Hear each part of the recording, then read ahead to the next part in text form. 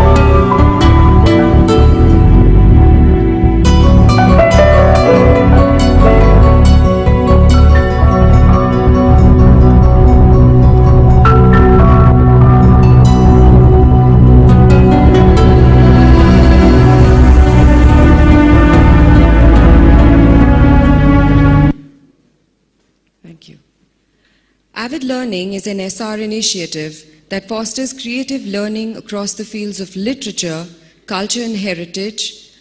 Avid Learning is an SR initiative that fosters creative learning across the fields of literature, culture, and heritage, art, visual performing, and applied through various platforms that include workshops, lectures, and panel discussions.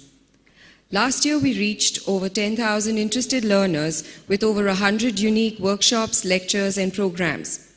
This year began with sister cities, Mumbai, Karachi, and New York, an interesting discussion between H.M. Naqvi and Naresh Fernandes. We had a full day workshop on decoding Art Deco, architecture, furniture, jewelry design, and its importance on Mumbai. At the Jaipur Literature Festival, Avid presented a panel, The Artist's Eye, with leading cultural theorist Homi Bhabha discussing modern art with Glenn Lowry, the director of MoMA, Marc Quinn, and William Kentridge. Avid presented the Speakers Forum at the India Art Fair in Delhi, followed by a successful approaches to art management workshop with Australian faculty Dr. Joe Cost. Next Thursday, Avid will be launching one of the great books written about an unforgettable metropolis, Calcutta, by author Amit Chaudhuri at Bungalow 8. March includes a partnership with Art Dubai and Focus Photo Festival. More information is available at our registration desk and on our Avid website. I would like to thank our venue partner, CSMVS Museum, and our media partner, Time Out, for their support. This evening, we will celebrate the relaunch of Christopher London's book, Bombay Gothic, with an illustrated lecture on the development of Bombay's Gothic buildings by Christopher, after which he will be joined by conservation architect Abha Narain Lambah in a discussion moderated by journalist and author Sidharth Bhatia on the city's ongoing conservation plan for specific precincts. The panelists will look at the various social and cultural influences as Indian architects began constructing Gothic style buildings, and also a look into the future, seeking to preserve and restore these iconic buildings which have helped create Mumbai's notable skyline. I would now request Shamina Talyar Khan, President of the Deccan Heritage Foundation India, to say a few words, please. Thank you.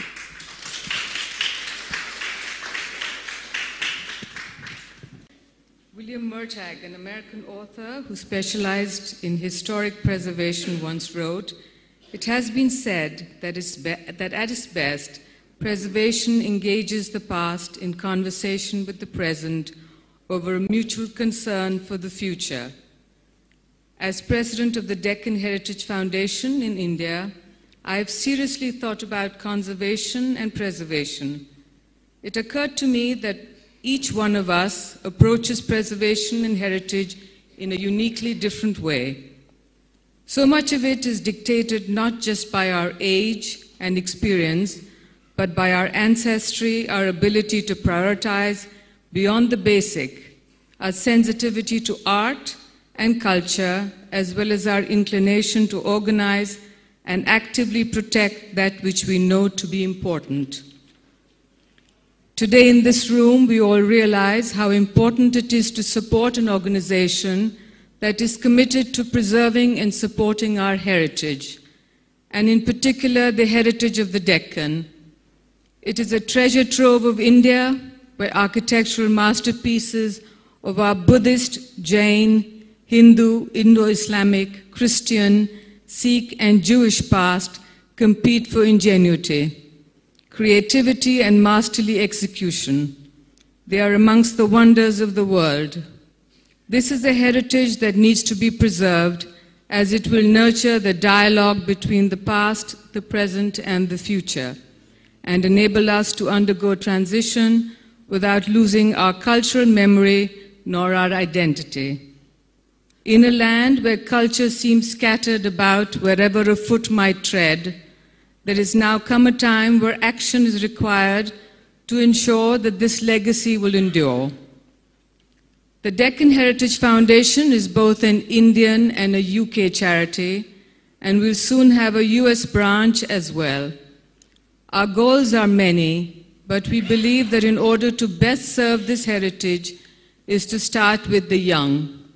One of the foundation's most ambitious goals is to create special educational programs that will enable the young to comprehend how important this heritage is to their lives whether tangible or intangible. Our first educational program has already been launched in Bombay with great success, and we are about to start our first rural project in Hampi, where a generation will be educated about the history that surrounds them. These educational programs, which are being developed by our director in Bombay, Prachi Dalal, will go hand in hand with publications for a wider national and international public. Aside from our children's programs and publications, we would also like to sponsor the creation of a center to train restorers. Here, students will be instructed on methods of preservation and restoration and will enable them to take up projects for the restoration of monuments based on their historical importance and thus serve the communities in which they exist. I would like to thank our publisher Padmini Mirchandani of Pictor, who is also a trustee of the Indian Board, and our authors and sponsors, some of who are present here. Dr. George Michell, who is well known to all of you, unfortunately could not be here with us today. He has worked in the Deccan for more than 40 years, unraveling its history and its masterpieces. Dr. Helen Philon specializes in the Sultanate architecture of the Deccan, where she has worked for the last 20 years. I would also like to thank Mr. Stefan Bloch Salos, who is one of the fervent supporters of the foundation and one of the two sponsors of the magnificent book, Discovering the Deccan, which is also available for sale in the foyer today. I would like to thank Dr. Christopher London, who so generously offered to support the DHF with a reprint of his guidebook, Bombay Gothic. I hope that these projects will find supporters as we need your involvement and help. I look forward to hearing Abha Lambah, Christopher London, and Sidharth Bhatia talk about the richness that lies around us in Bombay and how this heritage can serve our communities, enrich our lives, and safeguard the multifarious identities that characterize this city. I have had the good fortune to be around beauty and craft for a good portion of my life. It has been my privilege to be a steward of that legacy, and it is clear to me that the DHF would like to involve us in this stewardship of a marvelous legacy, one that would, one that would do well to nurture so that it may endure, and in doing so, allow us to have that discourse with the future that our past makes so rich and storied. Thank you very much.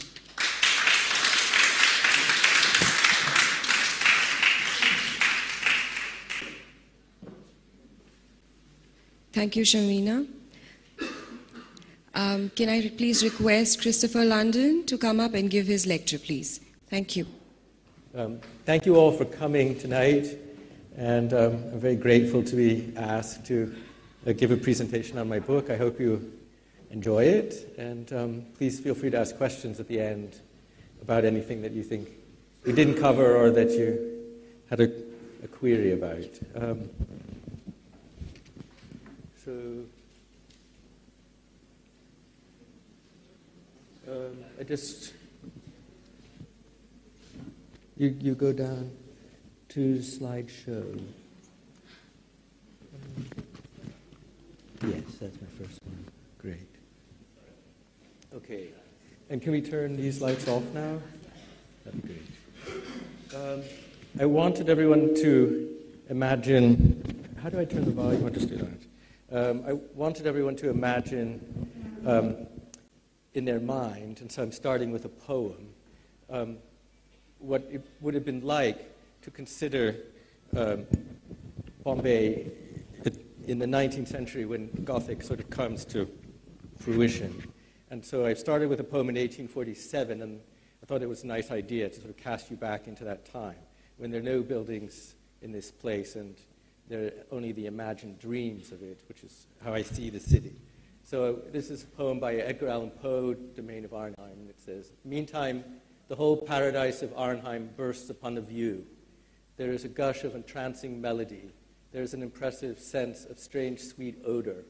There is a dreamlike intermingling to the eye of tall, slender eastern trees, bosky shrubberies, flocks of golden and crimson birds, lily fringed lakes, meadows of violets, tulips, poppies, hyacinths, and tuberoses, long intertangled lines of silver streamlets, and upspringing confusedly from amid all a mass of semi Gothic semi Saracenic architecture, sustaining itself as if by miracle in midair, glittering in the red sunlight with a hundred aureoles, minarets and pinnacles, and seeming the phantom handiwork conjointly of the sylphs, of the fairies, of the genii, and of the gnomes.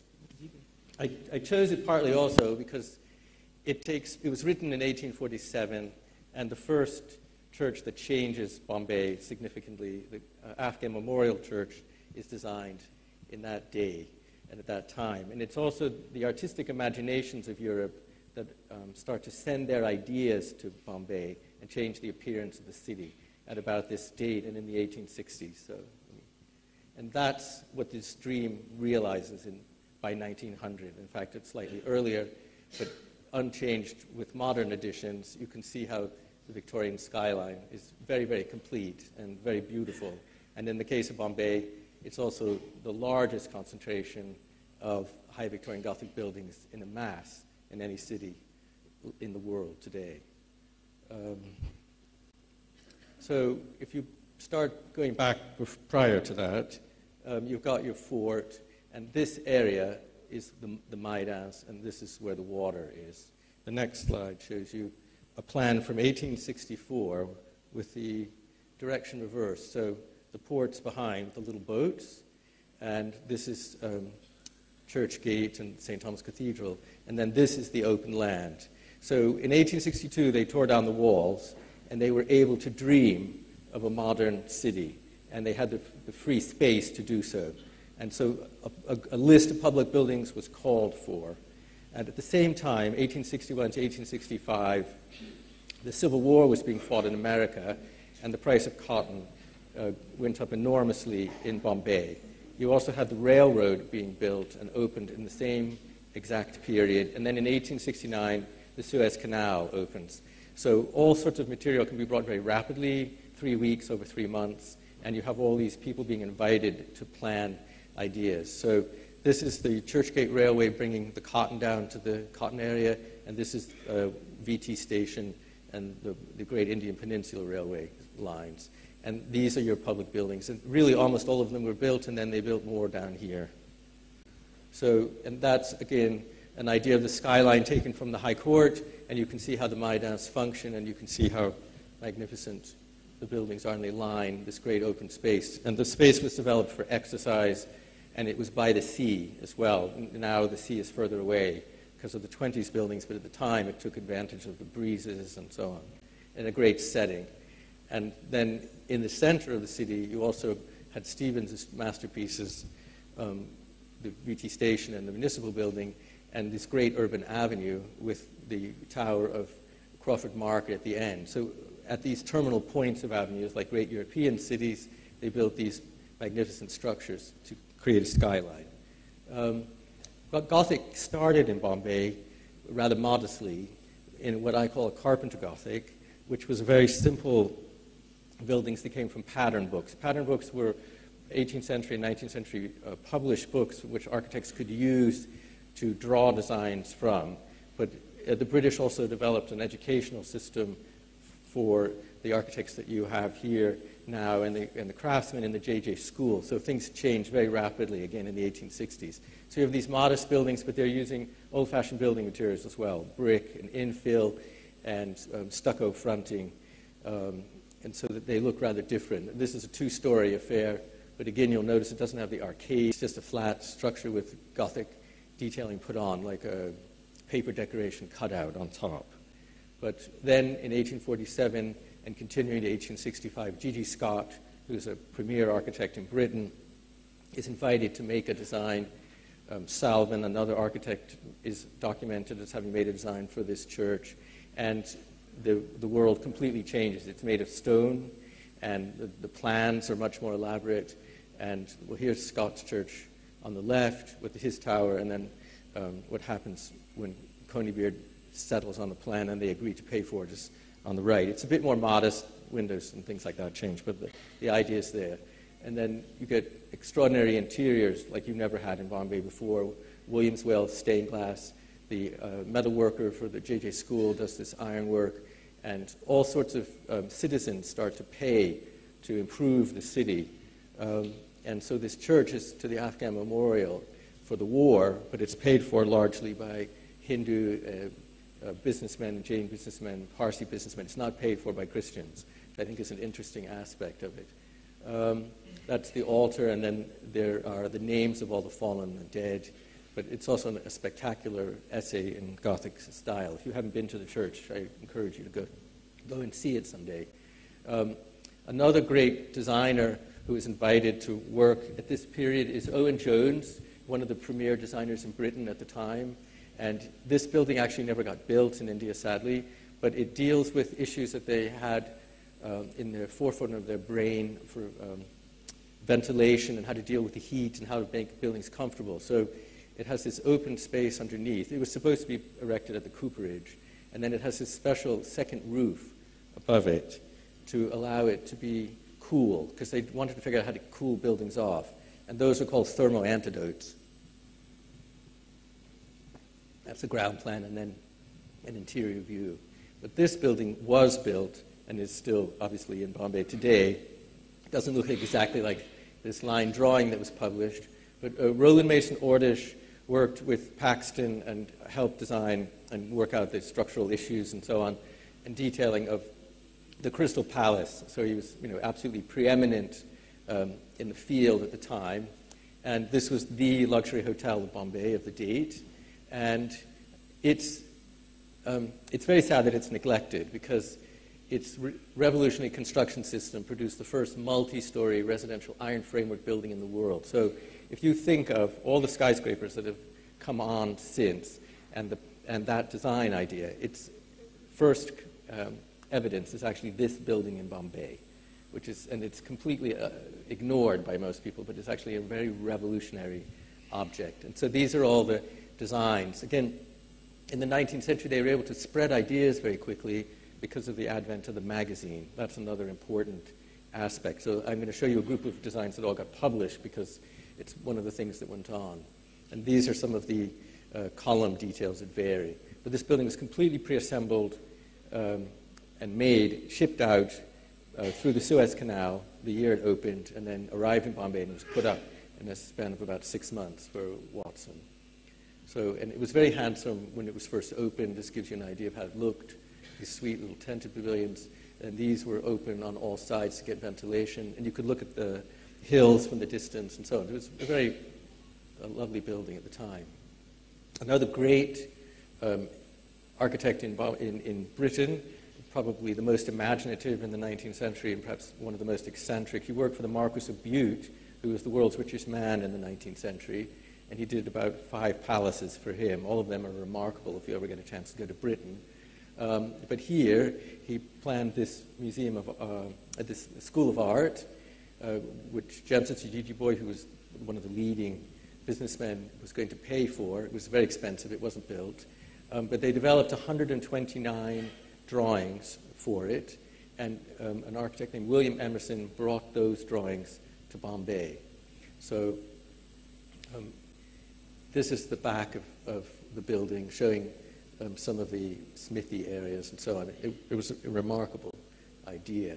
So when Emerson got here, even though the school wasn't being built, he got on with the job and started to make churches. Um, and these are not with a very large budget, but they're very inventive designs, and they start to use all the local stone that's brought in by the railway, and they embrace local materials, which is also another special aspect of the architecture in Bombay and makes it different from Calcutta and Madras. So you have this wonderful stone, and in various colors, they identified all the stones um, and knew exactly which one to use. So I won't, I'll go through quickly through, but um, William Burges did this design for Constantinople. Again, it wasn't built, but it shows the same sort of detailing. And then I wanted to show you an Italian example um, from Pisa, which uses these sort of details and the same sort of doorway treatments that he has. And these materials were available to him through books by Ruskin and uh, like the Stones of Venice. And they also started publishing photographs of buildings in the 19th century. In the 1860s and the 1870s, they started making albums of all these things. So architects had access to that. They could, didn't have to go to all these places in Italy to see them. They could study them in their, uh, at their drafting table and draw ideas. And that's what happened in Bombay. So here's another great church by um, Emerson. It's muscular Gothic. It has these oversized, strange, quirky features, these frog details, strange columns. And then inside, it has really marvelous, strange details like that. And the stained glass is, which is located here, um, is um, by the maker who worked for Burges, and he was, I would, I would say, the best stained glass and most uh, refined stained glass maker in Britain in the middle of the 19th century. And so that, those are probably some of the nicest stained glass windows in the whole of India. It also has a full immersion um, baptismal font. So, I mean, this church is quite extraordinary to go and visit. um, and then this is the third church that he did, again, this very strange muscular Gothic detailing. Again, this, you know, all sorts of little details that are fun if you go and see it. Another thing that Emerson works with from the Owen Jones is these thermal antidotes. They, they wanted to improve Bombay in terms of services. So Crawford Market represents this great leap forward for the quality of food and the presentation of food and the availability of it, the freshness of it. Um, the railway lines are directly behind um, the market, and it's laid out so that it's clearly distinct that fish and meat are on one side, flowers and vegetables on another side. It was able to be washed. The stone comes from Caithness. Um, and it's ventilated and it's also adorned with very beautiful features. And they put the clock tower at the corner to give you this great vista down the avenue from two sides, and he curves the corner to have it fit into the cityscapes really rather beautifully. Um, it also incorporates fine sculpture. If you think back to that Carpenter Gothic, it's very plain in comparison to the elaboration of these Gothic buildings. They're really much, much richer affairs. And Kipling came to um, to Bombay to teach. Rudyard Kipling was his son, the famous novelist, um, and these are all by Kipling. Um, and then inside this amazing cast iron work, this is a griffin with its um, wings here, its tail coming around, and then it's biting the head of another creature. They also just started making gas lights, I think in 1866 in Bombay. Um, so this was, these were gas lights, and that was a kind of miraculous invention at the time. And then, again, these elegant rainwater heads. There are all sorts of fantastic features to this building. And the inside, they created a courtyard originally that animals could come in and the traders could um, rest and shade in that place. And this is the fountain that they developed for it. This is the design. And this is sort of how it looks today, although there's a metal shed over it and they've knocked the top off. And it's rather harder to see than, um, than it is in this picture. Uh, but these are some details of, of river gods uh, crocodiles, again, Emerson's imagination was pretty fantastic. Um, Burges, again his teacher, had this scheme, which he would have seen just before he left for Bombay. This is Sabrina Fountain in Gloucester. Gloucester, Sabrina is the Latin name for Severn, and so this is the fountain for the Severn River, which runs next to Gloucester. Um, another essay in this style is Rusi Chauk, which I think was probably going to be put into the uh, main market. But um, Arthur Travis Crawford, oops, uh, who's commemorated here, had to leave under some sort of municipal scandal. And so I think maybe they decided it was better not to have him um, on this design, or they just decided to improve it and make a bigger fountain. Um, but in the next one, you can see that John Lockwood Kipling, the sculptor, is commemorated here with the sculptor's tools and his initials, and then William Emerson, W and E, here with the protractor, paper, and his drawing tools for his contribution. And another thing I was asked to do was to draw some comparisons. This isn't in Bombay Gothic with European architecture. So I've taken the High Court on the right and compared it to the uh, Ca' d'Oro on the left. Oh. Did it go off or? Sorry. Okay, can you hear now? No? You can't? I wonder why they can't hear. Use the what? Okay. Should I take this thing off then? You're moving your uh, head, so it's not. Uh, Uh, okay, sorry. yeah. Yeah.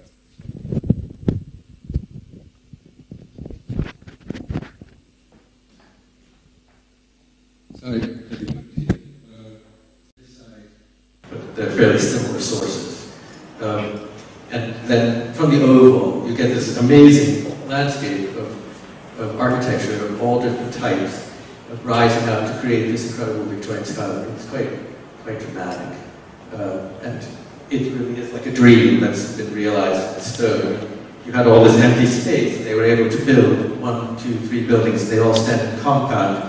Again, in Europe, you might get a single building like this, but you wouldn't get a row, and you wouldn't get them all set all around them. So it's, it's quite unique.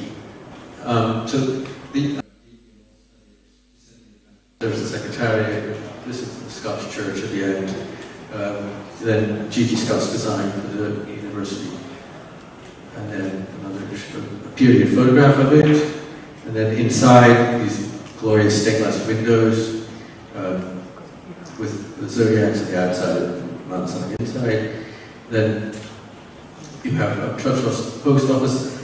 There are certain elements of all these buildings that are uh, characteristic as well. They, they settle on having these external corridors to keep the rain and the sun off the main uh, wall of the building, keeps the building cooler, and um, it, it, creates this wonderful open massing as well. So it's a formula that's repeated over and over. Um, and then there's a PWD. Um, and then the last one's um, Stevens Royal Island Sailstone, same corridor idea all the way around. And again, very good sculpture here by Paul Bolton. Uh, and I'm going to do one more building sort of in detail. This is the Kaushik building for the Elders of College. It's now a hospital. It's opposite from the Bhau Daji Lad Museum, it's just across the road. Um, I don't think most people notice it very much, sadly. Um, but it's a rather impressive building, and Elvis moved down to the fort. But, um, it, the feature that I'm particularly to highlight is this one. Because the, the, another thing that Freyer did was he paid for the restoration of the dome in Bijapur, and then he also paid uh, and sponsored T.C. Hope to publish three different photo albums of important sites in India, which people then had access to looking at and could study. At Bijapur, uh, Dharwar, Mysore. So, so I may have gotten this slightly wrong, but anyway, that's the idea. So that's another photograph of it being fully realized, and this is the source. This is the Mehtar Mahal in Bijapur, and this detail here is picked up. It's either from photographs or from visit, because they also went to many of these places to see the that Bijapur is very popular with British architects. In fact, British architects got um, Islamic architecture first, better, and more easily than they did Hindu. I don't think that's a slight on anything. It's just they seem to understand its formalism in the 19th century better uh, without the textbooks to guide them along that we now have. So, again, fantastic metal work and this wonderful detail. Um, then this amazing muscular Gothic structure of the high school, uh, which if you haven't been and walked up too closely, it's amazing building, very fine metalwork, amazing quirky turrets, and paid for by a wealthy Jewish businessman in the city. And then his design, his watercolor is out this period, this is 1878. And so Stevens got this proposal, he had to sell it, and he used his great watercolors to make the proposal uh, you know, come to life in a building. Uh, it's really quite a fantastic drawing. Um, and then I wanted to just analyze slightly this building. So um, Stevens uh, got a boat, went to um, London to study after uh, he got the commission, um, and on the lead up to it, I guess. I'm not sure which, but anyway, he, um, he went to study all these uh, train stations. So you have this long shed here, and you've got a long shed here. You've got this amazing entrance court that stepped out entryway. You've got a traffic flow issue, and you've got a clock tower at this end. And then if you look at VT, you've got the entrance court. He had to accommodate an office. This has a hotel and then an office, so it has slightly different uses. But um, and he also had to build three facades that would form what was one on this side with all this incredible courtyard. But you get you get the same idea, and then here's his clock tower. Um, and then these are just details of bits of VT because it's such an extraordinary building. And the dome was built without centering, which is also an extraordinary um, achievement at the time. Um, with these documents, it's a bold thing to do, and it's crowned by progress. And then this detail relates quite well to the next shot, which is uh, Notre Dame. And it's just, again, in the 19th century, Notre Dame was restored by the Viollet-le-Duc, and, and there were published a magazine articles about it. So, so it was something that would be very much available to people, that enthusiasm for these kinds of quirky sculptures, because uh, this is quite an extraordinary thing, uh, show up in, in VT. You get, ooh, you get a monkey um, chasing a rat, and then you get these amazing sculptures. And then you also have the same programmatic relief decoration. So it's really. The uh, peacock, peacock of India, beheads, and then um, Bridget in India at the entrance. Um, so that's the dream that um, is been realized so successfully by these um, extraordinary architects and the, the coming together of, of so many influences um, at one time in the 19th century. So I hope you enjoyed that. Last slide. Yep.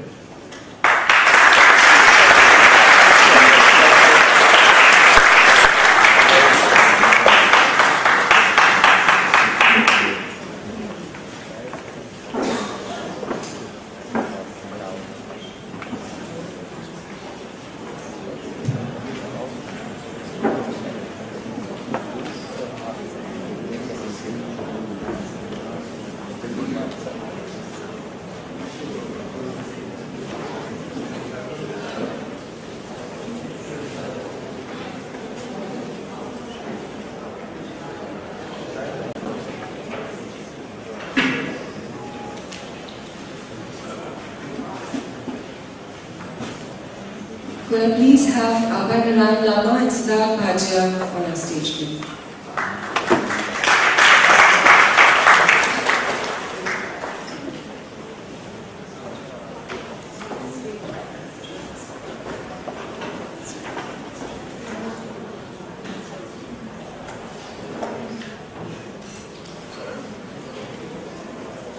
To introduce our panelists, Abha Narain Lambah is a conservation architect based in Mumbai.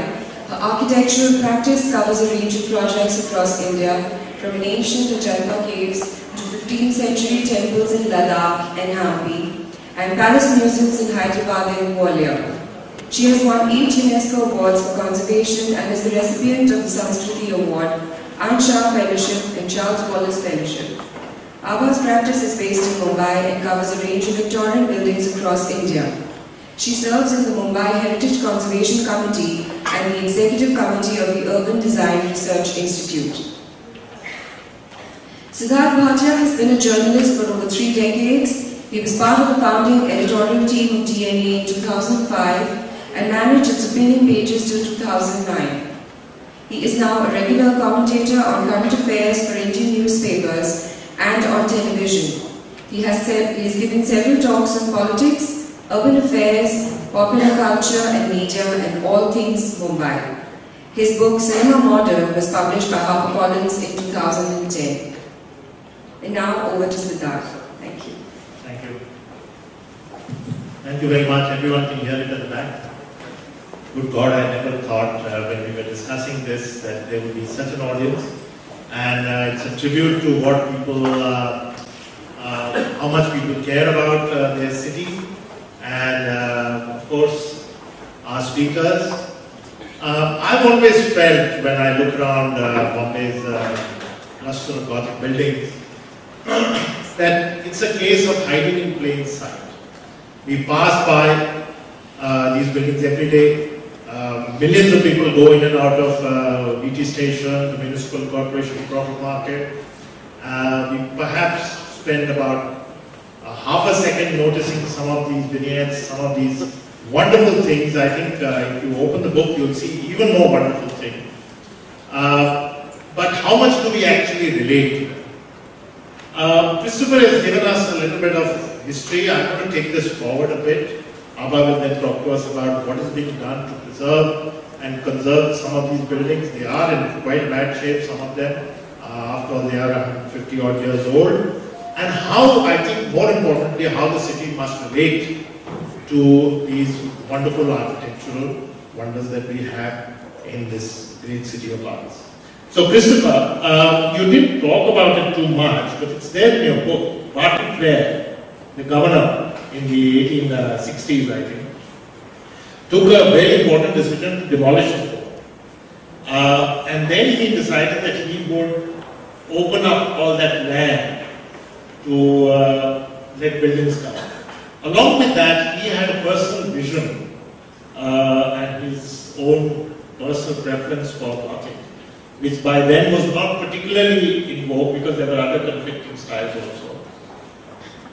I've often wondered, was this also a case of the empire making a statement? Do you think, was this an imperial statement also of some kind, or was it just the convenience of building these massive structures? I, I, I think that I don't see it as an imperial statement. I think that I, I see Gothic architecture in Bombay as the modern style of architecture at the time in which the issue of building these buildings uh, needed to take place. Um, you know, the British Empire was growing at a colossal rate.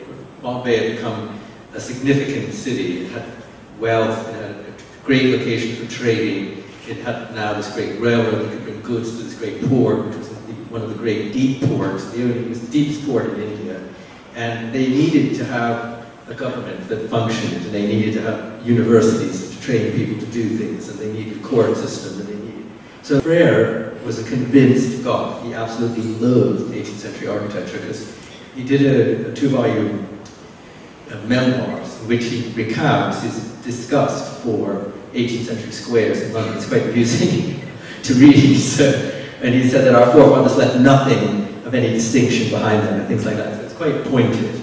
Um, and he wanted to make Bombay the first city in India. He proclaimed that when he wasn't yet governor in the 1840s. So he had an architectural dream, he had an aesthetic preference. And I, I see the buildings as the realization of that um, compulsion had and, um, to, to build something lasting.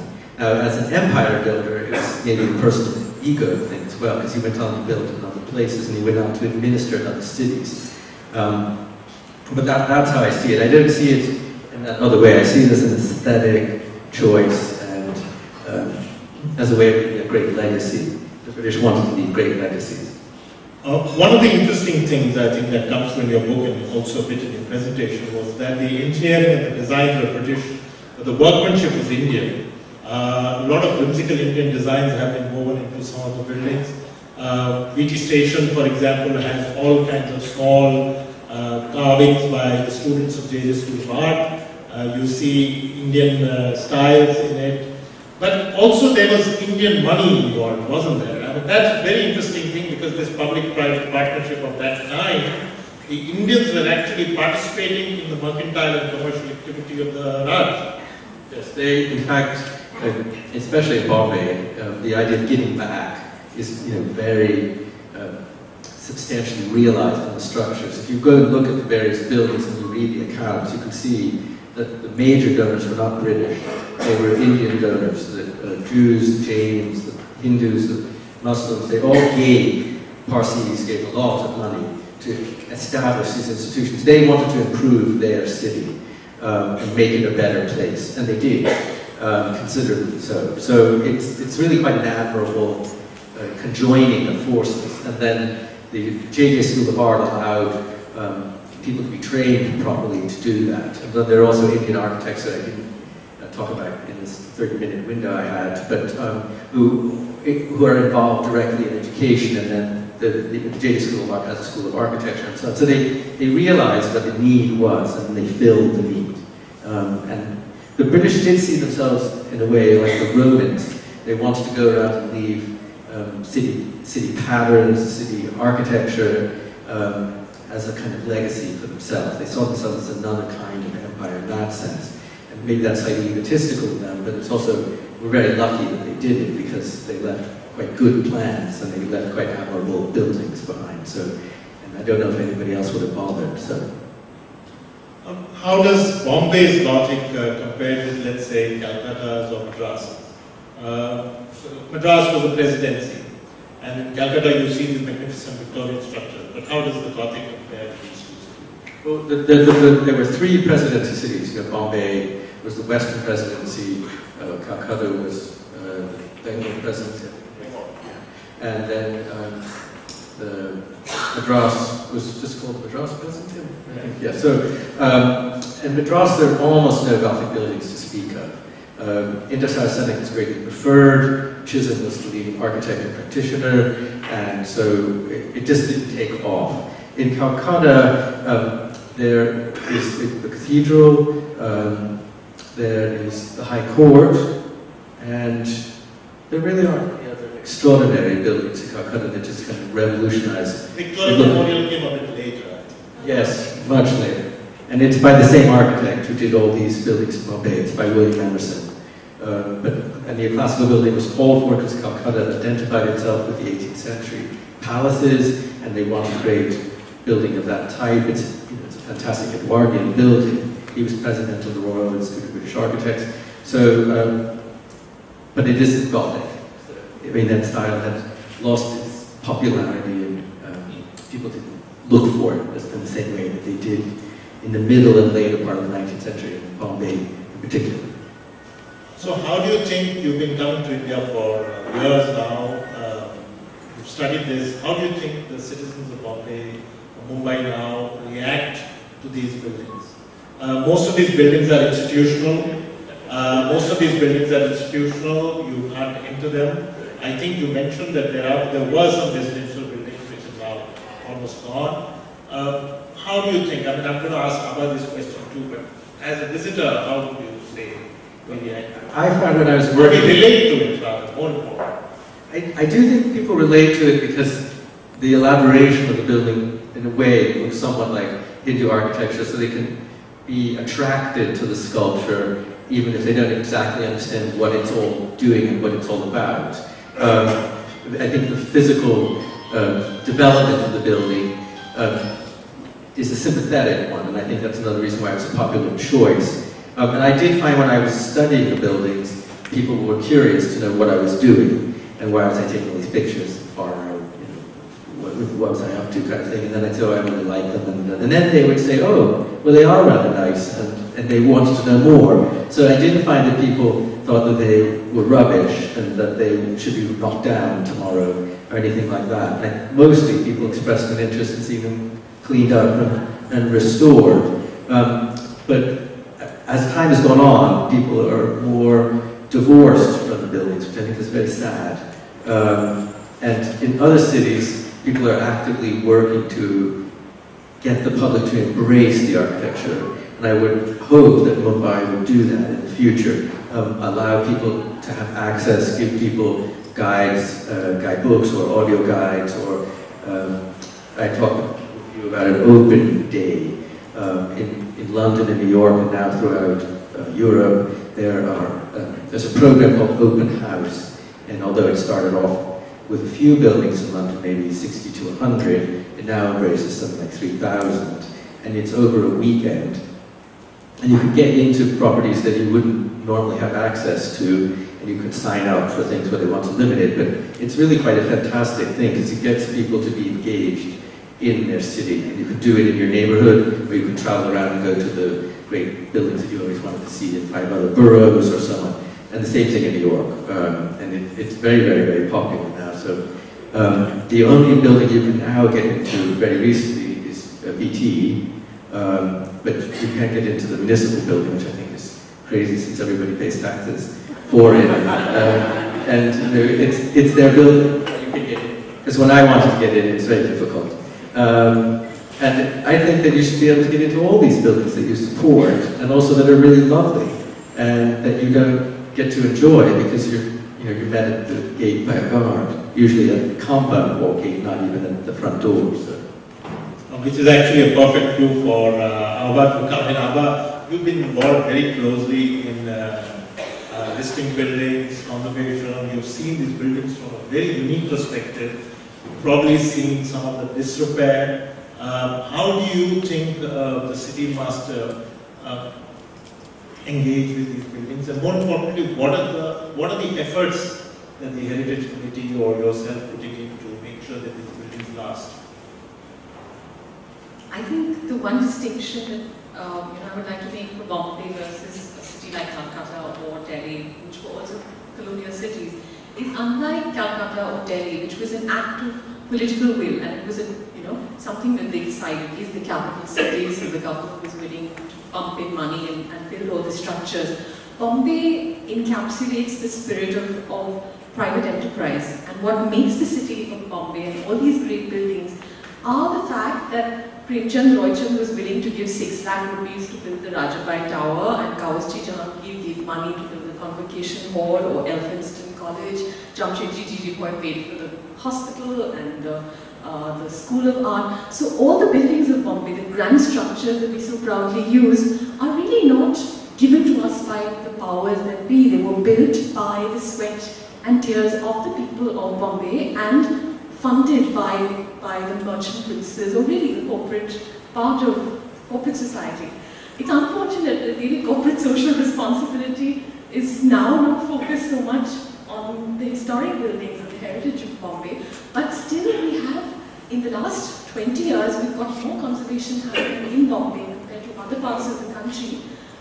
Purely, know, because we are waiting for that government grant to come through. So, you know, the Kala Ghoda Association raised funds 11 years ago and we managed just to raise 5 lakh rupees and we managed to restore the facade at Elphinstone College. So even with little money, one could, or the brave ladies of Oval, as I call them, you know, fought the government and got the Oval Maidan cleaned up. So we've had amazing, you know, cases of, of initiative. But also the fact is that compared to other cities where you see heritage as you know, monument that's fenced off and like a museum piece, you see it from a distance. In Bombay, we have a very intimate relationship with our historic buildings. I mean, most 9 out of 10 cases, you, you'll be either born in a historic, in a heritage building, I mean, JJ Hospital or Grant Medical College. You go to school, which would happen to be a Victorian building, it's JB Petit or, you know, any of the schools. Your college might be a historic building, Xavier's, Elphinstone. Uh, if you if you fought a court case, you end up in Presidency Magistrates Court, High Court, uh, Secretariat, when your file is stuck in your birth records in front of the municipal corporation, you'll catch a train through either Bandra station or VT every day. So we have such an intimate relationship with our Victorian buildings. Unfortunately, we have such an intimate relationship that we spit on them and we do other unmentionable things on them as well. But the fact remains that the, the citizen of the city is constantly engaged with the historic buildings and I think that's why conserving these Victorian buildings is not really a luxury and why people think of it as being, you know, oh, heritage is sort of a very, it's something that you can indulge in. It's not an indulgence for us in Bombay. It's just our very basic existence. Our quality of life depends on a large, uh, you know, uh, uh, uh, fraction is dependent on, on the, the environment. And for most of us, if we're going to office or school or court or library, uh, these are the buildings that we're living in. It's actually a very interesting way of uh, looking at it. What is even more interesting, I mean, when you began, you started talking about, uh, you know, corporate funding, private India, mercantile, merchant princess funding and all that. The other interesting thing which I compare from then onwards is, uh, periodically in Bombay's history of the last 150 years, a lot of land gets suddenly available. So Frere knocked down the fort wall and you suddenly had these maidans and these open land. Then reclamation happened in the 20s and then Art came up. And now we've seen what's happened uh, in BKC, in uh, and all that. The difference, as you say, and that's something I think, Christopher, you could also comment on. The difference is that after that happens, whether we should build for the sake of building or whether we should say, let's build new, but also somewhere take along the old. You know, I feel that yes, it's important to build new, uh, but the fact is that uh, in the last 50 years, if you had to name five buildings that you liked architecturally in Bombay, I mean, all of us would be struggling. But if you say name five buildings from you know the 19th century, and you, have to you have to really worry about which one you're going to knock off to make your top five list. So the fact remains that our planners and architects have done a shabby, shabby job. I'm sorry to say in in the last 50 years. So why not just recycle the great buildings we have and adaptive reuse and just recycling is actually the greenest thing. Having said that, it's also the fact that when, we, when, when they were planning, when you look at, look at the fort walls being demolished and this whole esplanade opening up for construction, you had Trubshawe, who was monitoring the design of every building, and even a grand architect for the design of Watson's. Watson's Hotel, the design was, was turned down, I think, three times by the, by the Trubshawe Commission because they didn't find it Gothic enough. So there were checks and balances. I mean, I wish we could have something like that, like a, an urban arts commission or something, even to decide for new buildings whether they make the cut or not. Well, that's, I, I have done that sort of work in New York for 15 years um, or so. I, uh, the co-chair of a committee that looks at every application. Frere knocked down the fort wall and you suddenly had these maidans and these open land. And then reclamation happened in the 20s and then Art Deco came up. And now we've seen what's happened uh, in BKC, in uh, Parel and all that. The difference, as you say, and that's something I think, Christopher, you could also comment on. The difference is that after that happens, whether we should build for the sake of building or whether we should say, let's build new, but also somewhere take along the old.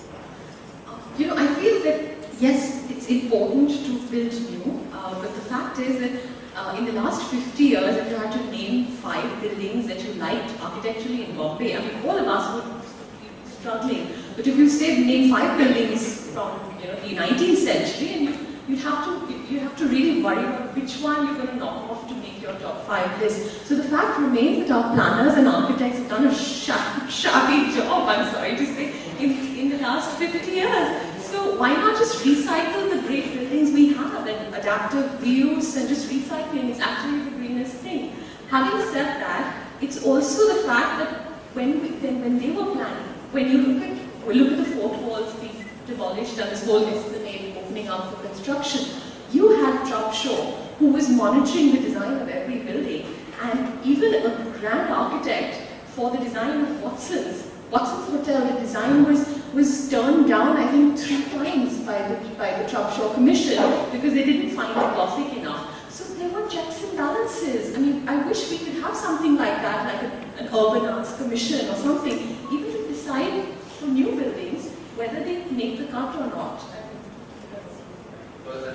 I, I have done that sort of work in New York for 15 years um, so. I, uh, I'm the co-chair of a committee that looks at every application um, to the Landmarks Preservation Commission. The Landmarks Preservation Commission is the uh, civic body, uh, the chair is appointed by the mayor, um, to oversee all the properties that are either historic districts or individual landmarks. Individual landmarks is the highest thing, I suppose you call them a grade one star listed building or something like that.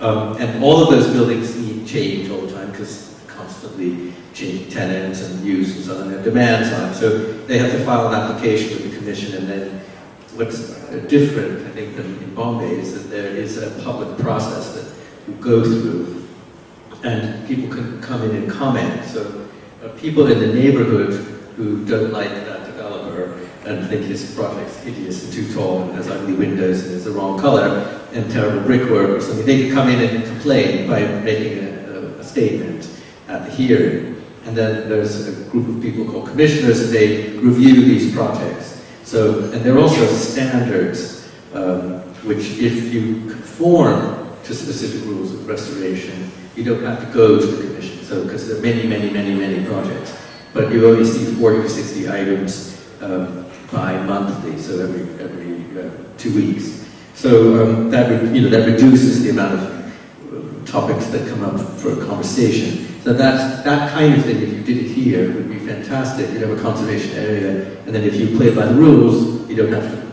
be regulated in any particular way. You just do it with staff. But if you want to do something that challenges that, then you would open yourself up for public comment and public review. And But, they- uh, then they can change the designs as well. I think um, if uh, public was invited to vote or give their opinions on the aesthetics of any building here, very few buildings would be made, I can assure you. Uh, what exactly are the challenges you're facing vis-a-vis the conservation of some of these buildings? And let's stick to Bombay Gothic at the moment, especially some of the more prominent buildings. What are the exact challenges in terms of um, architecture, in terms of uh, foundation, money, all that? Regulations. The, the, the challenges vary. I mean, for example, we were working on the Scott uh, building of a convocation hall. One of the greatest challenges was that you had tube lights everywhere and uh, you know you had wiring everywhere, and that's because the building was originally gaslit. And how would one, you know? So, so one of the greatest challenges is to be able to get the, the, the authentic information to be able to restore well. And while there are original drawings of some buildings, uh, surprisingly, uh, G.G. Scott, being the kind of architect he was, even uh, the Royal Institute of British Architects or the British Library didn't have those drawings. So a lot of times... Uh, Those were the ones that were sent here. Yes, yes. So sometimes there is records that go missing. Uh, the challenges at other points are just, uh, a, a lot of times, uh, either a kind of an apathy in terms of the powers that be or a lack of resources. Uh, which, you know, but, but that's, that's something that I think is a surmountable challenge. So whether you go, you know, for, for various models, I think at the JJ School of Art, there was this issue of no funding for the restoration. But then uh, we managed to, uh, the Friends of JJ, uh, Sari Doshi is one of the people who was involved with that board, uh, they managed an amazing uh, idea of having a Ravi Shankar concert, have people auction and raise about 18 lakhs in one night, got a member of parliament to, uh, to match that. So I think Bombay has actually explored one of the you know, really novel ideas of being able to raise funds for buildings. So I don't think that really should ought to be a challenge. But yes, there are huge challenges like developmental pressures and the kind of things like cluster redevelopment policies and all, which sort of give a blank check to the builder. So you, if you're a building in a historic precinct, even in the Fort precinct, you actually are only allowed to consume your 1.33 or whatever FSI if you stick to the rules. But if you actually demolish it, and you're getting four or five uh, incentives. So in a sense, the, the planning systems in the last few years have actually toppled so badly towards the builder that they are actually incentivizing people to knock down buildings, unlisted buildings or grade 3 buildings within historic estates. I mean, we had the huge controversy of Crawford Market, which is one of the finest buildings in the city, and uh, William Emerson, and had it been anywhere in the world. And uh, a builder did have an idea of building a you know, 10-story structure. And uh, when at that point we had you know, gone to the Heritage Committee to say, don't do this, uh, the members said, we're really not sure if the whole market should be grade one or just the front building. And one of the, the then municipal commissioner said, people go to Crawford Market to buy vegetables, not to look at the architecture. So, as one of vegetables. So it's also challenges like this. Well, that's where uh, I think again the question arises. You bring in the citizen and give the citizen a stake, at least in terms of the idea and what you were suggesting, about open uh, weekends, etc. Sorry. Say they need they needn't be mutually exclusive. So you could do both at once. Uh, so bring in the citizen and all that. But I think awareness is growing. And I think the point you raised earlier about it being seen as an elitist is slightly different way. As I see it, just as a reader, as a citizen, is that uh, the committee itself sometimes finds it difficult to keep moving forward, etc. By which time, more buildings will get demolished by the time they're notified and all that. Those are those bureaucratic aspects that take their own time to uh, move forward, don't they? I wouldn't want to speak on behalf of the committee wearing a heritage committee hat. I think Okay, I was just trying to put you in a corner. But uh, no, actually, this is a misnomer. You know, the, pe- a lot of people are worried thinking that the buildings that have been put up on the website, the new listing can get demolished. But under a High Court ruling, even a draft notification is supposed to be considered there and present and to be taken cognizance of unless otherwise proven. So actually all the buildings that were listed, uh, I mean last, last July, uh, have to come through the heritage review process. But it's uh, No, no, it's also uh, frightening when you go to Marine Drive and you suddenly see on A Road or B Road or somewhere, there's a building being demolished and there's this awful structure coming up, and that's going to spoil that entire arcade facade. But uh, that person or that builder seems to be getting away with it. It is because of the cluster redevelopment policy. So half the cases don't even come to the Heritage Committee because uh, The same could happen to DN Road. completely, I mean, all the, not the end Road because fortunately it's 2A, but every other Bora Bazaar and every other building that's unfortunately 3 in the Fort precinct. And now I think Bhendi Bazaar also there's a little bit of a, yeah. So are you optimistic? Are you optimistic about us preserving uh, Gothic and Well, I think I'm a die-hard optimist, and I think we'd like, I'd like to share with all of you that uh, for many years, in 2003, I made a presentation to UNESCO about declaring Bombay's Victorian Gothic heritage and its Art Deco as being the only case, only city in the world which has this amazing dialogue of two centuries. So if you take Oval Maidan, you have on the east fabulous streetscape that that uh, uh, we just saw of Victorian buildings, and across the, the oval is this, across a century, is this fabulous ensemble of Art Deco. And it's been a long uh, journey that UDRI, we, we, we tried to various chief ministers who came and went, and finally last year we got uh, the present chief minister to sign a, letter to the government of India forwarding this as Maharashtra's official entry to the World Heritage List. Now, every year, the government of India can only send one cultural site. We made it to the tentative list last year, which is a queue of, you know, uh, lists, buildings that a city or a country wants to be on their list. So, we at UDRI, we're working frenetically towards submitting a dossier this year, uh, battling for resources. And, uh, but if we make it this year, then hopefully it will make it to India's official entry to UNESCO as a World Heritage Site. And I, I, I hope uh, we get you to, to at least go through some of our statements of outstanding universal value and pitches. To do that. Again, uh, but the same question to you. Are you optimistic uh, that uh, we continue to have this? When I first came to Bombay, the buildings weren't listed at all. I, I watched the process of, of listing and at the worry that uh, developers had that they weren't going to be able to survive and so on and so forth. And then the constant conversation about FSI, which it every conversation in India, in Bombay it seems. But um, I am optimistic because the buildings are still here. They're very well made and they're, restorable. And I think that the, the next process is educating people and um, about their qualities so that they actually enjoy them and they take an interest in them. And once you have a lot of people interested in something like that, then they will get fixed up. So, um, and, I mean, and they'll still be here to do that. So um, you won't find all the original drawings, I don't think, anymore, sadly. But, um, but the buildings leave enough there for you to work from anyway. You could guess from, the other examples in other places to go to proceed. So.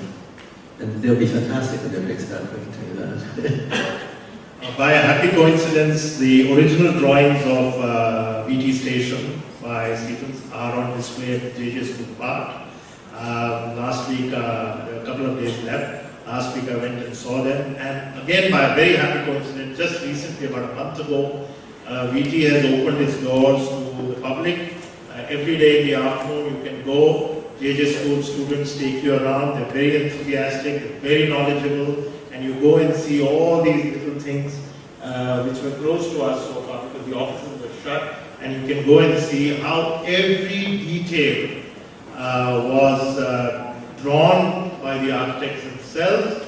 And inside, the outside uh, main gate, you will see the names and faces of the first board of directors, and Jagannath Shankarshet and Jamsetjee Jejeebhoy are two of them. So it's uh, well worth a visit And tomorrow's the last day, so. for the exhibition.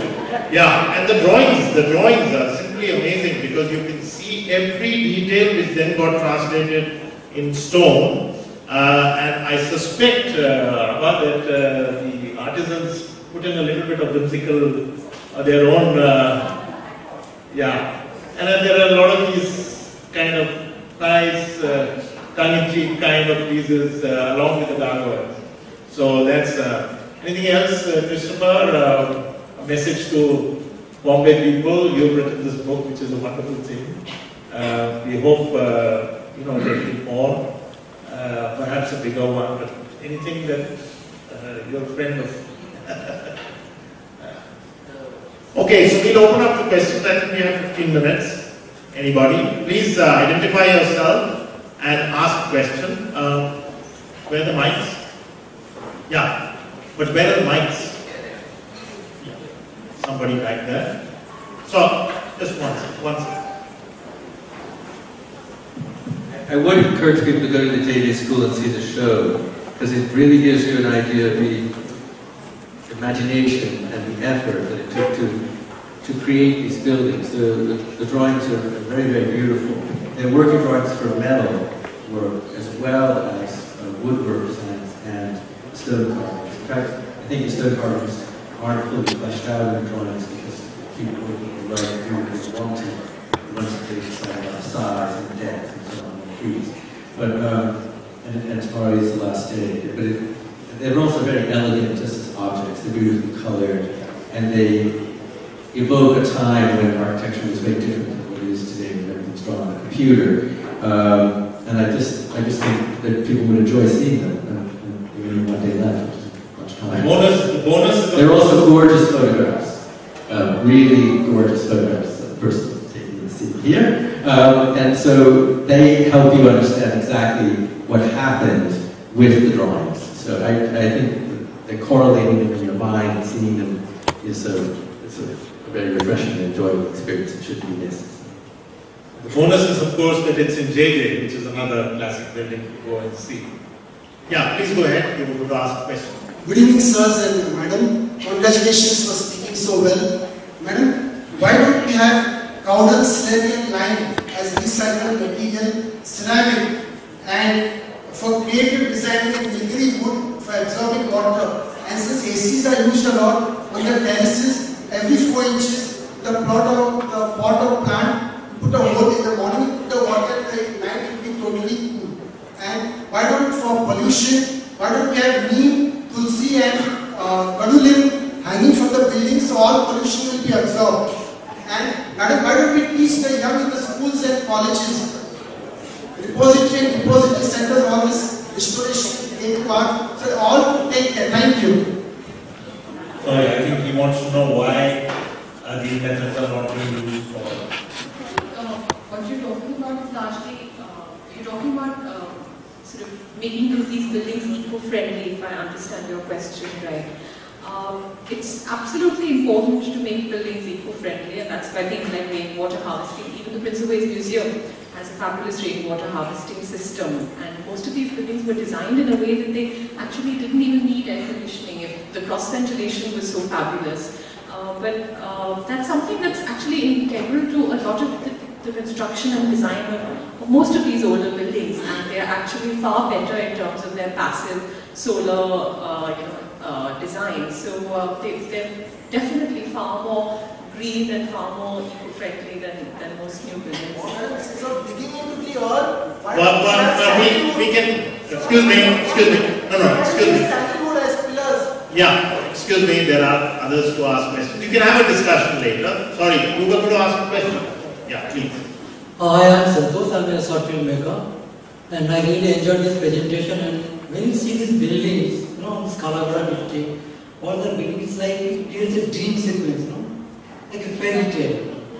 And Oval Maidan, the other side is all the buildings, they have the same architectural language and all these buildings like University College and Bombay University have the same language in terms of architecture. But all of a sudden when you see this Dalal Street building and BSNL, these two buildings, the architect language of these two buildings doesn't go with this Gothic architecture.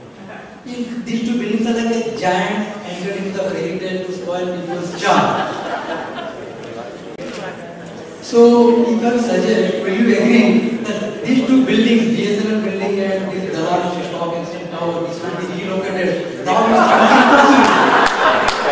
you suggesting, are you suggesting they be demolished?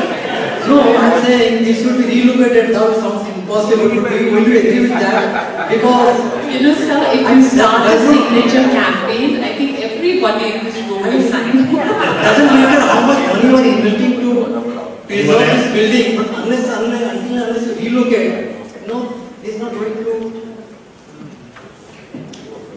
Yeah, maybe relocation, first demolition, then relocation. Yeah, my name is Sumit. I just wanted to, uh, uh, as in uh, Mr. Christopher said that uh, uh, at some point in time the Gothic movement uh, uh, lost uh, its sheen or something of that sort. So uh, when did that actually percolate down to India and uh, uh, the uh, counterpart in, uh, say, Great Britain, as in uh, when did the whole Gothic movement uh, lose its momentum? That is. Well, Gothic in, um, in Britain came very slightly earlier, I suppose, um, than in Bombay with like Dean Woodward's project in, for the Natural History Museum and so on. Um, but in any case, it, it started to change about 1890, and you got um, an impatience with Gothic. It was perceived to be um, sort of dark um, and old-fashioned style, and um, with plate glass windows, uh, flow glass windows, and all sorts of other innovations that people could have to make facades more open. And then um, there was a popularity for plain stone, so Britain, uh, Portland stone began to be used uh, more frequently in buildings. So you, got the Edwardian style, which doesn't really start until Edward, Queen Victoria's still alive, but um, you do see it uh, moving away from the high Victorian Gothic. Also, it was too expensive to carve buildings up in the way you have here. Um, and then there was a, a great battle um, when the municipal building was being uh, as to what style it was going to be. And um, Indo-Saracenic was um, given the first chance, in fact, and Stevens was kind of away, uh, he, he missed it. And he was livid because uh, Robert Fellowes Chisholm, who was the premier architect in Madras, um, was being given this job, and it was directly opposite his, his VT. So um, he went around all the commissioners who he knew very well. There's Grattan Geary, who was the municipal commissioner at the time, he built his private bungalow so on. So he lobbied them very actively, and he won. And uh, Chisholm didn't get to build the project, and Stevens did. So um, it, even in even in India, it was beginning to lose its mojo, I suppose, um, as as we approached 1900. Um, and by then, it was seemed, seemed to be old-fashioned, and everybody moved on to a new style. So. Uh, the building we are sitting in, museum, is the tapering last bits of Gothic, isn't it? With some of the Saracen influences. Actually, this building was designed by Wittet to be for that, um, and I found the original drawing for it. Uh, but then, um, again, it deemed that it would be Indian enough. It wasn't uh, appropriate because once you didn't have one style that everybody wanted, which was Gothic, then the field for choice.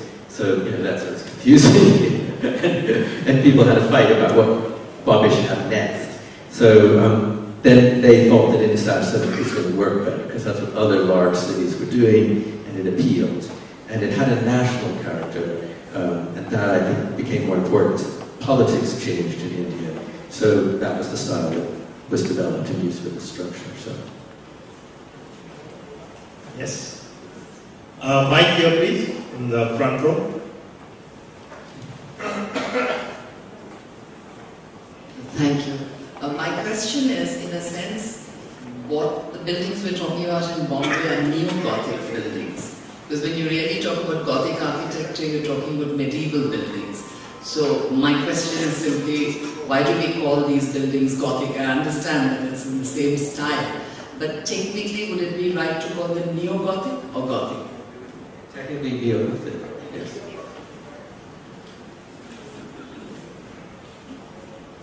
Just like um, neoclassical.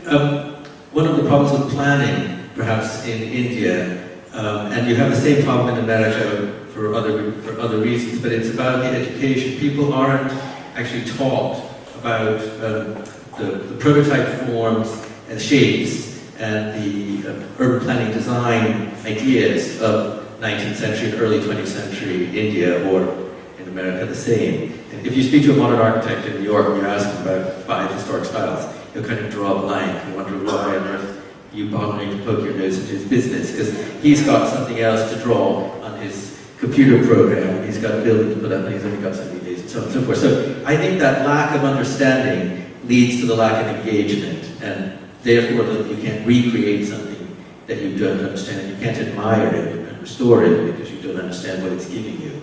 And I think that, that's the quandary that we face in, in the 21st century at the moment. So.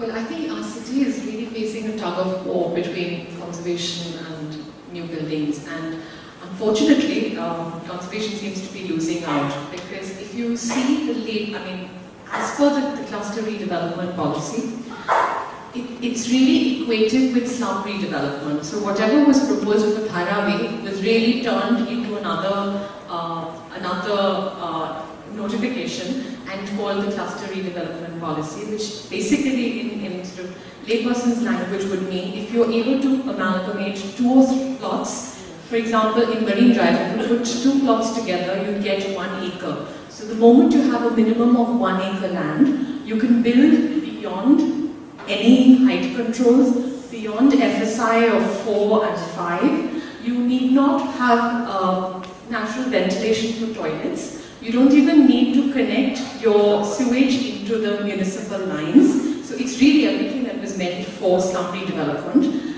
And you don't need to, even if you're a grade 3 listed building or within a heritage precinct, you don't need to take heritage permissions, which is a very frightening thing. So 70% of Khotachiwadi is cessed buildings and can go into cluster redevelopment.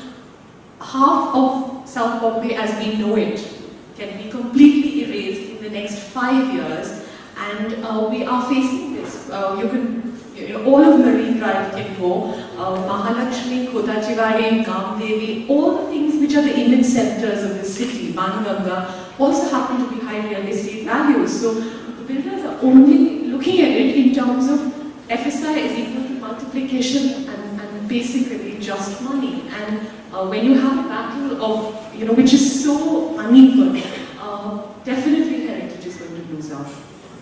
You know, the subject of Bazaar, I might add a little bit, uh, that's a, turned out to be a very unique kind of situation because there, there are, you know, a, lot of deaf people around there belong to a certain community. Uh, they are ready to go along with community leaders who say that we will give you better uh, uh, living conditions. Some of those buildings are in really, really bad shape. People families of four or five who may be otherwise well off uh, are living in about 150, 200 square feet. Um, they, they don't have toilets and the buildings are about to collapse.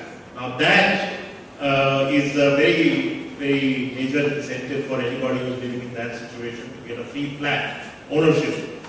On the other side is the unique character of the area. To give you an example, simply Chor Bazaar, for example. I mean, going to book Chor Bazaar in a mall, it's just not going to have the same, uh, the same uh, flavor, the same impact. Those people are entrepreneurs. Uh, there's a lot of commercial activity going on. The facades of some buildings are absolutely fabulous. Um, anyone who goes there for a walk is struck by what those people thought uh, and uh, when they were building about 100 or 40 years ago. So it's that balance. Meanwhile, as uh, Abha just pointed out, there's a policy in place which is leaning in the direction of the developer, unmindful of existing laws. So that's the balance. And if you have the people there who then go along with it, then it's going to be a really tough battle to save even a part of it. Incidentally, they also are aware that the aesthetics will disappear, but what is the aesthetics when you are looking at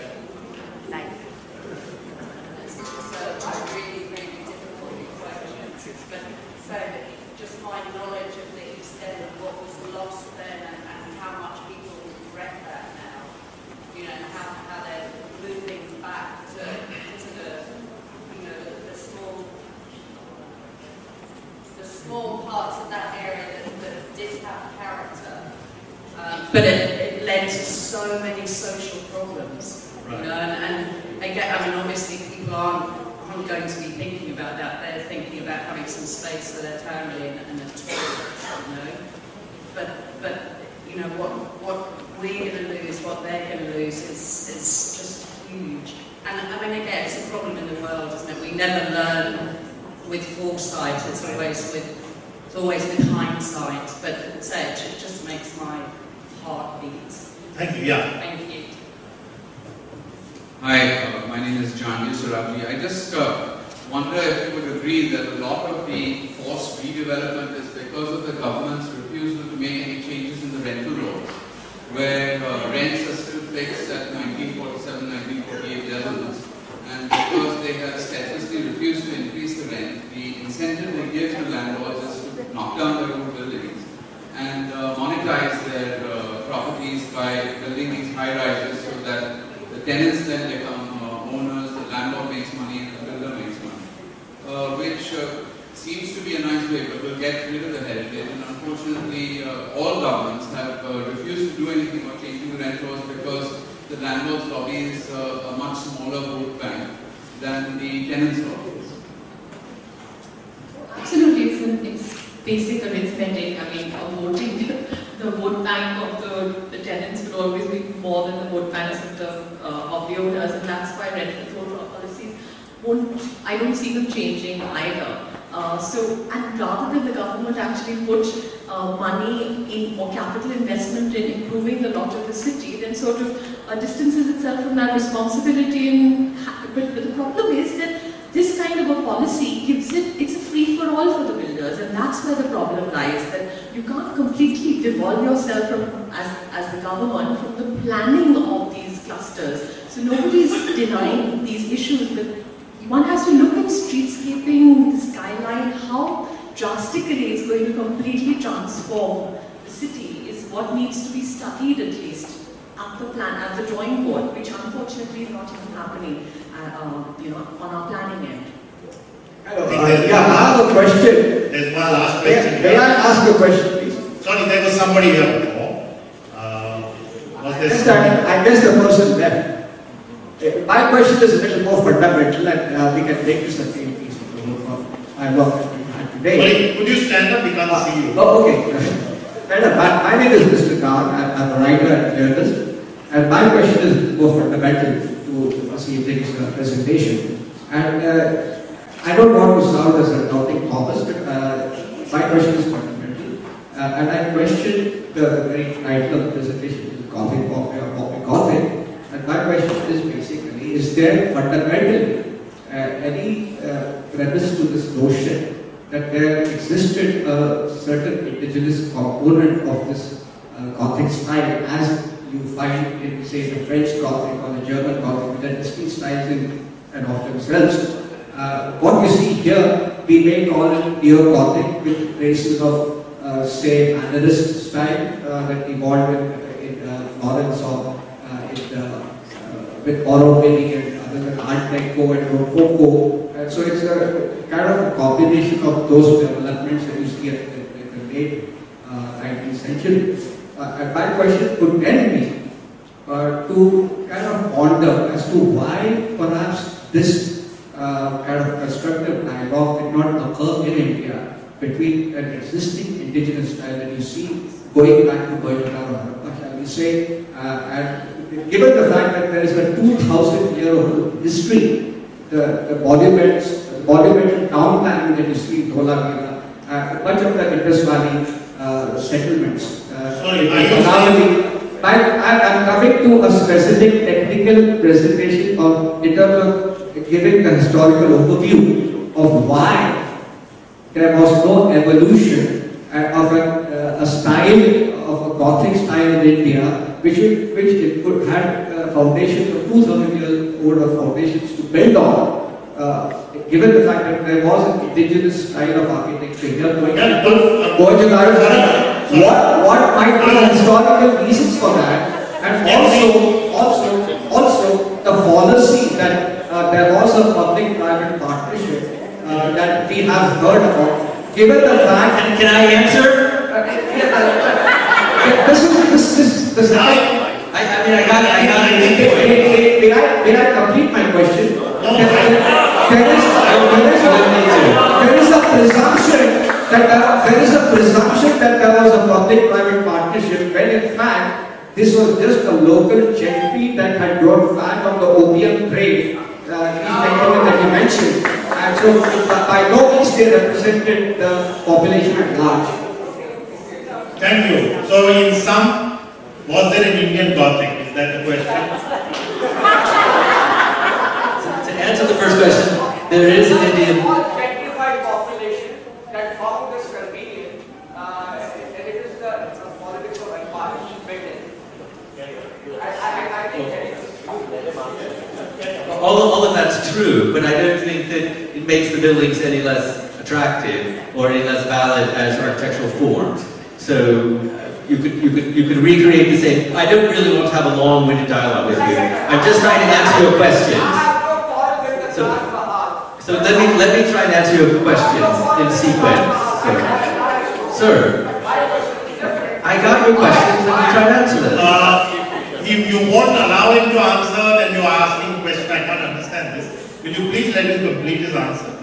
So in the, in the case of the Gothic buildings, they do look particularly Indian in that there was a study of the natural plants and also there's a use of the Indian stone and Indian sculptors. So if you were to give them to um, an architectural historian in Europe who was trained in looking at Gothic architecture in Britain or Neo-Gothic architecture in Britain, they would know right away that it was from India. So they have a very distinctive character, they use distinctive architectural language, and they look as if they come from this place. So that was your first question. Um,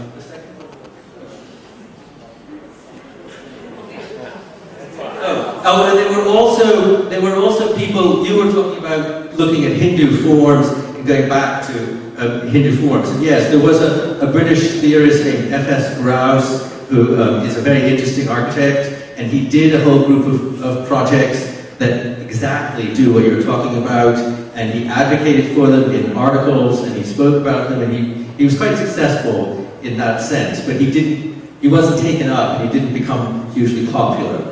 Uh, Maroon Karakur wrote an article about him and his work, and he's, um, he, he's well known. So, um, so yes, there was a controversy about it, and so you're correct in your observation about it, but, but, the, but the mainstream builders didn't, didn't grab it, and the mainstream funders didn't grab it. So. Last, one last question, please. Anybody? No? Yeah, please. Uh, just get the mic. a very small building across from Sassuza. When, So, when we could you repeat it? Yes, I live in a very small building across from Sassuza. And when we wanted to renovate the facade, the society, thank you. I couldn't get anybody to help us. I mean, I was willing to pay architects. I was willing to go to advisors. I called all over Bombay. I anybody to give us some guidance on how we do the facade properly. So we sort of went forward blind. But I called everybody I could. Does anybody have any advice? What one does last three building and no one wants to.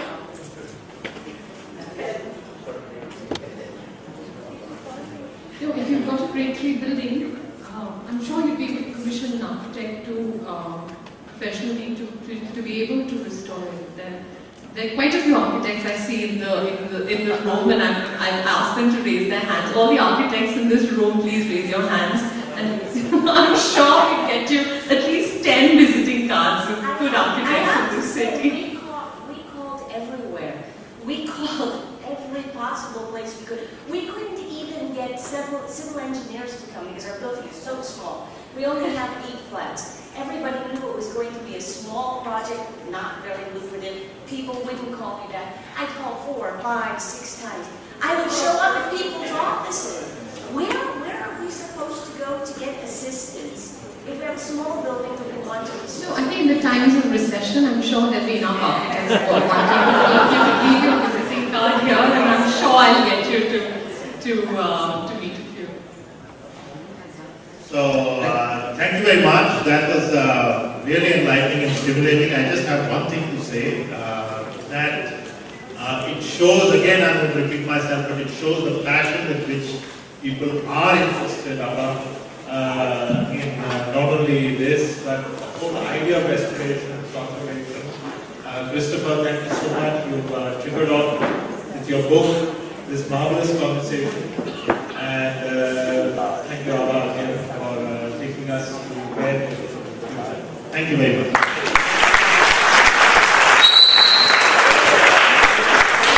Thank you. Thank thank you, Christopher. Uh, we have request Helen Philon, who is one of the founders of the Deccan Heritage Foundation, to say a few words.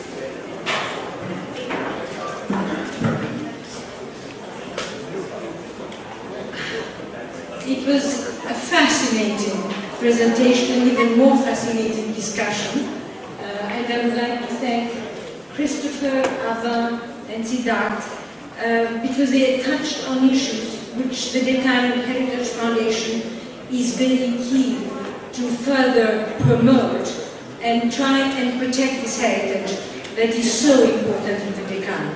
And, uh, you know, it was wonderful to see that there is this heritage that everybody interacts with, and yet nobody notices. And it's only through education and through publications that the greatest awareness will be created to be able to make this heritage more available, more comprehensible, more um, um, closer to the people who live around it. And it's not just Bombay, it's the whole of Deccan. And each region of the Deccan has its own architectural tradition, which is equally interesting, terribly varied, and always innovative. Um, so I would like to thank um, the director of the museum for allowing and for offering this uh, wonderful um, evening tonight where uh, we were able to listen to Christopher and this wonderful discussion. Thank you, Mr. Mukherjee. I would like to also thank um, uh, Manju Ruia and Asad Lalljee from the AVID for their wonderful cooperation and for um, helping to make this program uh, possible. And we look forward to many more such uh, evenings where uh, we can see that some more progress has been done in preserving these monuments. And uh, I'm sure that Abha will be one of the movers and shakers in this respect. Thank you.